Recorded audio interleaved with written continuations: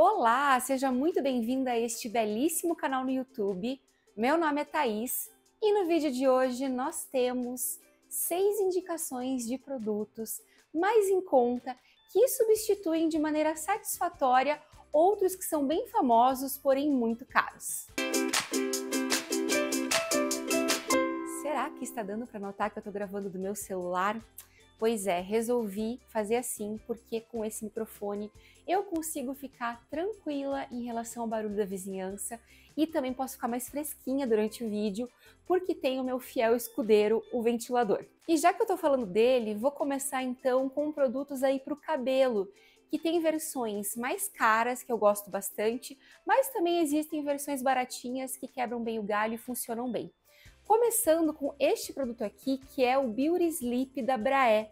Se você tem curiosidade em usar produtos para cabelo noturnos, para tratamento, esse aqui pode ser uma boa opção, porém ele é muito premium, é de vidro, custa caro e embora deixe o cabelo maravilhoso no dia seguinte, fica incrível, eu entendo que desembolsar o que ele custa não está aí nas condições e na realidade de todo mundo. Eu mesma, talvez, se não tivesse ganhado, não sei se eu teria comprado. É muito cheiroso, você passa, inclusive, com os cabelos secos, se você quiser. Eu geralmente prefiro passar com eles úmidos, deixo secar naturalmente e aí vou deitar e no dia seguinte, de fato, fica muito bonito. Porém, nós temos aí no mercado nacional uma versão Baratex, que é o Elsev Hidra Hialurônico, um creme de hidratação noturna. Importante falar que esse tem textura em creme, enquanto esse aqui tem textura em sérum. Então, esse aqui é um pouquinho mais grosso, mas também não deixa o cabelo pesado. Ele é pensado justamente para esse momento noturno, quando você quer ficar com os cabelos mais bonitos no dia seguinte, com menos atrito no travesseiro. Então, ele dá também uma boa tratada, uma hidratada. E eu acho que não fica devendo muito a essa versão aqui que é mais cara. Então, se não dá para comprar esse, compra esse. Existe um produto que é queridinho do CDD e que eu não vou cansar nunca de indicar porque eu acho ele maravilhoso, que é o Oil Reflections Light da Vela. Esse aqui é um óleo de finalização para o cabelo que tem uma textura um pouco mais leve. Em relação ao seu irmão, que é o Oil Reflections normal, ele realmente pesa menos e ao mesmo tempo dá sim aquela sensação de cabelo mais brilhante, é, mais hidratado, com menos frizz, mais macio. Enfim, acho ele uma belezinha. O meu, na verdade, acabou faz muito tempo já. Ele tá até sem o rótulo. Tem nessa versão aqui pequena, né, que eu acho que é de 30 ml, se eu não me engano, e tem também na versão maior que é de 100. E assim, produto ótimo, porém só na promoção, porque não custa muito barato. Até que eu descobri que a 3CM, dentro da linha Brilho Lamelar, tem também um óleo de finalização para o cabelo que tem uma textura muito parecida. Olha, parece até que é um líquido aqui, mas não, é um óleo e um óleo de finalização. É, obviamente, ele não vai ter a fórmula idêntica à fórmula do Oil Reflections Light, né? Inclusive, esse aqui tem parafina líquida, mas a parafina líquida até que não é uma grande vilã aí da questão dos cabelos. Vou até deixar aqui no card um vídeo muito interessante que eu vi do cabeleireiro calvo do TikTok, que ele fez aqui para o YouTube explicando um pouco mais sobre esse composto, né? Então, assim, eu acho que dá brilho pro cabelo, deixa o cabelo bonito, faz uma boa finalização também, ajuda um pouquinho no frizz. E para quem não está podendo, né, gastar tanta grana numa coisa como essa, esse produto aqui é fácil de achar, tem um preço ótimo e vem em maior quantidade porque tem 60 ml. Último produtinho do assunto cabelo, que também, meu Deus, já indicamos um milhão de vezes, gostamos muito, que é a escova Tangle Teaser essa aqui é a The Wet Detangler, difícil falar esse nome, basicamente uma versão com cabo e que você pode usar nos cabelos tanto secos quanto úmidos. Então, para desembaraçar no banho ela é ótima, mas para usar no dia a dia com os cabelos secos também. Eu amo essa escova, ela tem aqui as cerdas de dois tamanhos diferentes, é extremamente macia, enfim, eu sou apaixonada, acho que é um investimento que vale muito a pena ser feito. Porém, também sei que nem sempre é possível gastar tanto numa escova, então eu vou indicar essa aqui da ProArt, que é uma escova bem parecida com a Tangle Teaser, inclusive até na cor nesse caso, mas ela é um pouquinho maior, tá vendo? E também ela tem essa característica de ser mais maleável aqui atrás, o que ajuda a seguir bem os contornos da cabeça. Então, eu acho que ela causa uma tração menos intensa. É uma escova que também tem cerdas de tamanhos diferentes, mas ela tem umas bolinhas bem pequenininhas na ponta. E se você for olhar, as cerdas são mais altas do que a Tangle Teaser. Mas assim, desembaraça super bem também. Pode ser usada de repente em cabelos cacheados para fazer escovação com cabelo molhado.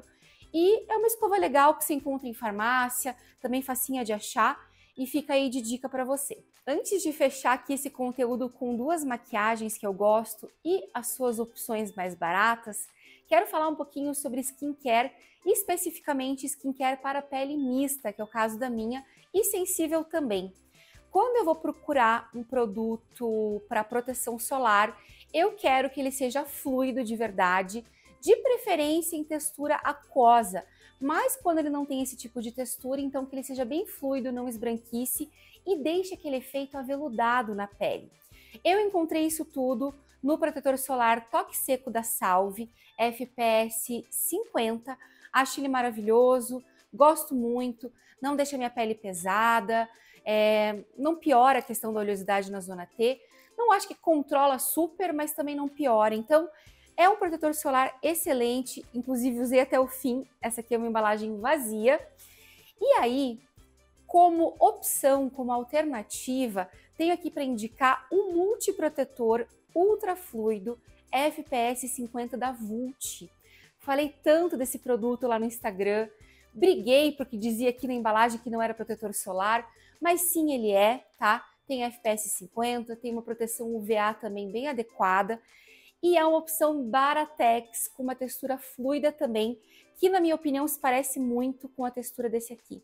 Então, esse custa lá, não sei, acho que 60 reais, estou chutando, tá? Esse aqui custa metade do preço e também se encontra muito fácil em farmácia.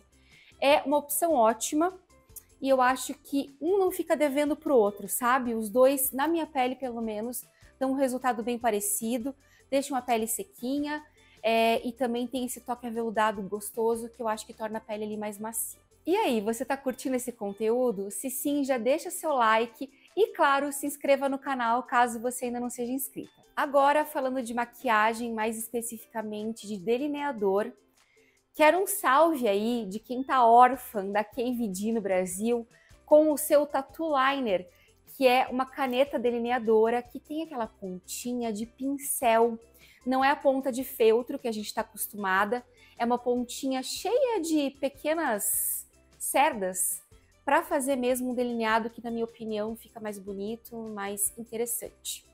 Só que assim, eles não estão mais no Brasil, saíram e quem gostava dessa caneta delineadora ficou sem. Até que eu descobri uma opção aqui da Paiô, que também é nacional, fácil de encontrar, e eu acho que ela não fica devendo muito para essa aqui. Obviamente são produtos diferentes, o Tattoo Liner é muito pretinho, durava maravilhosamente bem na minha pele. Essa aqui da Paiô depende, se você passa ela, por exemplo, em cima de uma sombra, pode ser que ela fique mais acinzentada com o passar do tempo. Mas é uma boa caneta e o principal, ela tem aqui a ponta de pincel. Inclusive, se você tiver mais indicações de canetas delineadoras com a pontinha assim, que não seja de feltro, me conta nos comentários, porque eu vou adorar saber. Tem um batom que toda vez que eu apareço usando me perguntam qual é, e não é esse aqui vermelho que eu tô hoje, que é outra história. É basicamente o batom líquido mate da Kylie Cosmetics na cor 808 Kylie. Ele faz parte daquele famoso lip kit que vem também com lápis, né? E fica lindo nos lábios realmente, eu acho que valoriza bem meu tom de pele, funciona super bem para mim. Só que assim, um lip kit com ele custa tipo 200 reais. E aí fica difícil, né, minha amiga? Então, tem aqui uma opção que é o batom Lip Matte Latica na cor 35, que eu já usei muito também e já mostrei muitas vezes e também era o batom que eu usava e as pessoas elogiavam. Eu acho que os dois são próximos, o da Latica talvez fique um pouquinho mais seco, no sentido de dar aquela esfarelada no centro da boca. O da Kylie dura um pouco melhor e também tem uma textura ali que é um pouco mais líquida, assim, que vai mais rápido, passa bem na boca. Mas na prática, embora os dois não se pareçam assim, só de olhar né, na embalagem, eles ficam bem próximos nos lábios. Então eu acho que vale a pena experimentar, porque esse aqui 200, esse aqui tipo 30 reais. Então, né, acho que de repente pode ser uma boa ideia. Eu espero que você tenha gostado desse vídeo e vamos colocar aqui uma meta. Se der aí mil curtidas, eu prometo que volto para o canal e faço outra versão do se não dá para comprar esse, compra esse. Jura aí para você. Então aguardo o seu joinha e, claro, seu comentário aqui embaixo. Lembrando que todos os links dos produtos estão no box de informações. Um super beijo e até a próxima!